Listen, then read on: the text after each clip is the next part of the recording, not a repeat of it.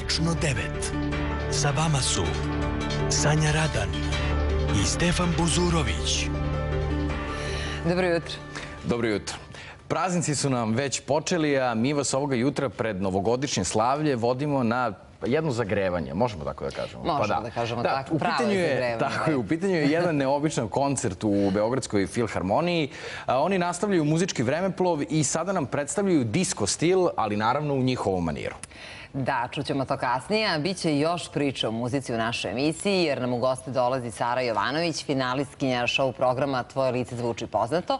A, Kojim numerom misli da osvoji publiku i žiri, a i gledalce, pošto i oni glasaju, koja će pesma njen glas staviti u prvi plan, kao što najavljuju i e, kako se to priprema za finiš takmičenja, sve će to da nam otkrije nešto kasnije. Da. Pitaćemo je lično. Da, ako ste zvezda, da li je dobro računati na staru slavu? Evo, Eddie Murphy veruje da će mu karijera ponovo krenuti ako snimi nastava kultnog filma Policajaca Beverly Hillsa.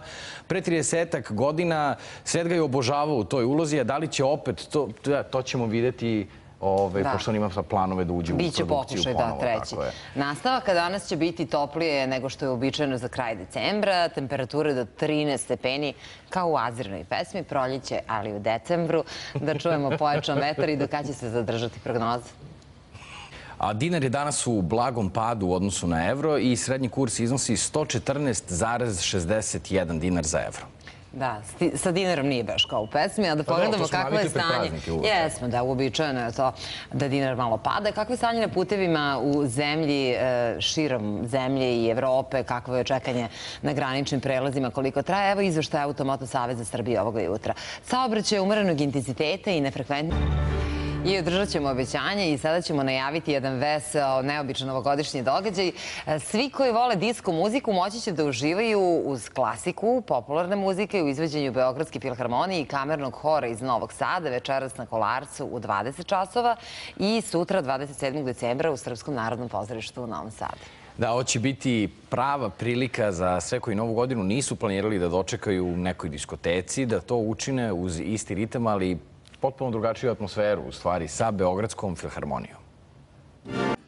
Uvijek je kod dirigenata najzanimljiviji govor tela i onda je uvek super kad ih gledaš bez tona, a kod ovog dirigenta je dobar i rad nogu. Da, oni imaju to proživljavanje Da. muzike kroz celo. Da, kako se tebi e, sviđaju ove obrade, tako kažem? To su zvuci vaše i naše mladosti, Da, da, Sanja? da, pogotovo naše. Da, Meni se baš sviđaju. Da, da. Sviđaju mi se danas sam ovaj, u tom retro maniru. Tako smo počeli emisiju Azdravo. Nastavit ćemo sa Da. nečim što je pomalo retro, a pomalo, boga mi, vrlo, vrlo aktuelno. I subote u subotu nas svi oduševljavaju, svi učesnici show programa Tvoje lice zvuči poznato i on je zaista naj, najgledaniji show program trenutno u regionu. Publika glasa već drugu nedelju, tako će biti ove subote i svi smo negde opredeljeni za koga navijamo.